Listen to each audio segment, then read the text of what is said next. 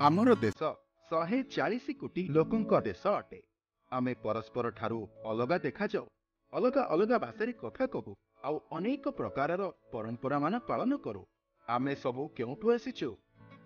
ଏହି ପ୍ରଶ୍ନର ଉତ୍ତର ଜାଣିବା ପାଇଁ ଆସ ଆମେ ଆଫ୍ରିକା ଆଡ଼କୁ ଯିବା। ଯେଉଁଠାରେ ମାନବ ଜାତିର ସବୁଠାରୁ ପୁରୁଣା ଜୀବାଶ୍ମ ଅର୍ଥାତ୍ ଅବଶେଷ ଖୋଜା ଯାଇଅଛି ଏହିଠାରୁ ମଣିଷ ଦୁନିଆର ବିଭିନ୍ନ ଅଂଶକୁ ଚାଲିଗଲେ ଓ ନିଜର ଅଲଗା ଜନସଂଖ୍ୟା ସ୍ଥାପିତ କଲେ ତଥାପି ଏହି ସ୍ଥାନାନ୍ତରଣର ବା ବିଭିନ୍ନ ଅଂଶକୁ ଯିବାର କୌଣସି ସଠିକ ରେକର୍ଡ ନାହିଁ ସେଥିପାଇଁ ଏହି ରହସ୍ୟକୁ ବୁଝିବା ପାଇଁ ବୈଜ୍ଞାନିକମାନେ ଡିଏନ୍ଏ ର ସାହାଯ୍ୟ ନେବେ ଡିଏନ୍ଏ ଏକ ରାସାୟନିକ ଅଣୁ ଅଟେ ଯାହାକୁ ଡିଅକ୍ସିକ୍ ରାଇବୋ ନ୍ୟୁକ୍ଲିକ୍ ଏସିଡ୍ କୁହାଯାଏ ଆଉ ଏହା ଆମର ସମସ୍ତ କୋଷରେ ଥାଏ ଏହା ଗୋଟିଏ ପିଢ଼ିରୁ ଅନ୍ୟ ଗୋଟିଏ ପିଢ଼ିକୁ ଯାଏ। ସମସ୍ତ ସାମ୍ପ୍ରତିକ ଜନସଂଖ୍ୟା ଆଫ୍ରିକାର ପୁରାତନ ଜନସଂଖ୍ୟାରୁ ଆସିଛି। ତେଣୁ ଆମର ଡିଏନ୍ଏ ଏବଂ ଆଫ୍ରିକାର ଡିଏନ୍ଏ ମଧ୍ୟରେ କିଛି ସାମଞ୍ଜସ୍ୟ ମିଳିଥାଏ। ଏହା ଆଶ୍ଚର୍ଯ୍ୟଜନକ କଥା ନୁହେଁ କିନ୍ତୁ ଡିଏନ୍ଏ ଏକ ସ୍ଥିର ଅଣୁ ନୁହେଁ କାରଣ ଏହା ନିଜର ଆକାର ବଦଳେଇ ଚାଲିଥାଏ। ଏହା ଚାରୋଟି ମୌଳିକ ୟୁନିଟ୍ ଦ୍ୱାରା ଗଠିତ ଯାହାକୁ ଆଡେନାଇନ୍ ଥାଇମିନ୍ ସାଇଟୋସିନ୍ ଏବଂ ଗୁଆନାଇନ୍ କୁହାଯାଏ ସମୟ ସହିତ ଏହାର ଗଠନ ଧୀରେ ଧୀରେ ବଦଳିଯାଏ ଏକ ଜନସଂଖ୍ୟାରେ ଏକ ଭିନ୍ନ ଡିଏନ୍ଏ ଗଠନ ଦେଖାଯାଏ ଯେତେବେଳେ ଏହା ନିଜକୁ ଅନ୍ୟମାନଙ୍କ ଠାରୁ ଅଲଗା କରି ପରସ୍ପର ସହିତ ପ୍ରଜନନ ଆରମ୍ଭ କରେ।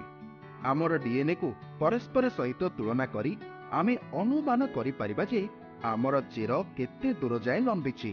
ଯଦି ଡିଏନ୍ଏରେ ଅଧିକ ସମାନତା ଥାଏ ଏହାର ଅର୍ଥ ହେଉଛି ବଂଶ ନିକଟତର ଅଛି। ଖାଲି ସେତିକି ନୁହେଁ ଦୁଇଟି ଜନସଂଖ୍ୟାର ଡିଏନ୍ଏରେ ପାର୍ଥକ୍ୟ ସଂଖ୍ୟା ଅନୁଯାୟୀ ଆମେ ଅନୁମାନ କରିପାରିବା କେତେ ଦିନ ପୂର୍ବରୁ ଦୁଇଟି ଯାକ ଜନସଂଖ୍ୟା ପରସ୍ପର ଠାରୁ ବିଚ୍ଛିନ୍ନ ହୋଇଥିଲେ। ଏହି ଜ୍ଞାନ ସହିତ ଏହା ଆମକୁ ଭାରତୀୟଙ୍କ ବଂଶ ଅନୁସନ୍ଧାନ କରିବାରେ ମଧ୍ୟ ସାହାଯ୍ୟ କରେ। କୋଶିକୀୟ ଓ ଆଣବିକ ଜୀବ ବିଜ୍ଞାନ କେନ୍ଦ୍ର ବା ସେଲ୍ୟୁଲାର ଆଣ୍ଡ ମଲିକ୍ୟୁଲାର ବାୟୋଲୋଜି ସିସିଏଫ୍ବିର ବୈଜ୍ଞାନିକ ଡକ୍ଟର ଲାଲଜି ସିଂ ଏବଂ ଡକ୍ଟର କୁମାର ସ୍ୱାମୀ ଥଙ୍ଗରାଜ ଏହି ଆହ୍ୱାନ ଗ୍ରହଣ କରିଛନ୍ତି ଏବଂ ଭାରତର ବିଭିନ୍ନ ଭାଗରେ ଥିବା ଲାବୋରେଟୋରୀରୁ ଡିଏନ୍ଏର ଉତ୍ସ ଭାବରେ ଲୋକଙ୍କ ରକ୍ତ ଏବଂ ଲାଳର ନମୁନା ନିଆଯାଇଥିଲା। ଆଫ୍ରିକାରେ ମିଳୁଥିବା ପୁରାତନ ମାନବ ଜୀବାଶ୍ମ ସହିତ ସେମାନେ ଏହି ଡିଏନ୍ଏକୁ ତୁଳନା କରିଥିଲେ। ଏହି ଅନୁଧ୍ୟାନରୁ ଜଣାପଡ଼ିଛି ଯେ ଆଫ୍ରିକାରୁ ପ୍ରବାସୀମାନେ ଦୁଇଥର ଭାରତ ଆସିଥିଲେ। ପ୍ରାୟ ପଞ୍ଚଷଠି ହଜାର ବର୍ଷ ପୂର୍ବେ ପ୍ରଥମ ସ୍ଥାନାନ୍ତରଣ ହୋଇଥିଲା। ସେମାନେ ଦକ୍ଷିଣ ଭାରତ ଏବଂ ଆଣ୍ଡାମାନ ଦ୍ୱୀପପୁଞ୍ଜରେ ସେମାନଙ୍କ ଜନସଂଖ୍ୟା ପ୍ରତିଷ୍ଠା କରିଥିଲେ। ସେମାନଙ୍କୁ ପୈତୃକ ଦକ୍ଷିଣ ଭାରତୀୟ ବୋଲି କୁହାଯାଏ। ଆଫ୍ରିକାର ଅନ୍ୟ ଏକ ଜନସଂଖ୍ୟା।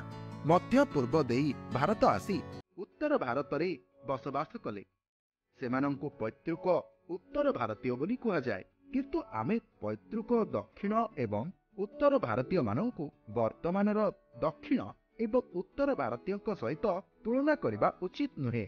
ପୈତୃକ ଦକ୍ଷିଣ ଏବଂ ଉତ୍ତର ଭାରତୀୟମାନେ ପରସ୍ପର ସହିତ ମିଶ୍ରିତ ହୋଇଥିଲେ ଆମେ ଭାରତୀୟମାନେ ମୁଖ୍ୟତଃ ସେହି ଅନ୍ତର୍ମିଳନର ଫଳ।